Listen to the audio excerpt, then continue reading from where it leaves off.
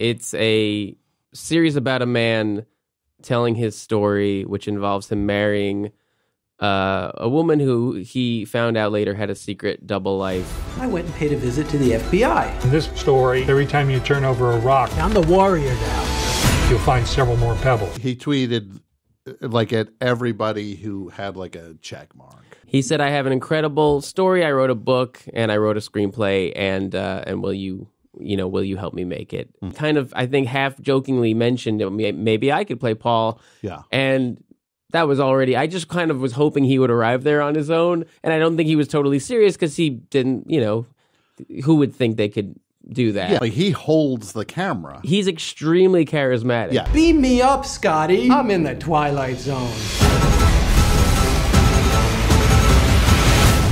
I don't know that it makes No, no, no, no. This is the script now. Don't worry, it'll be great.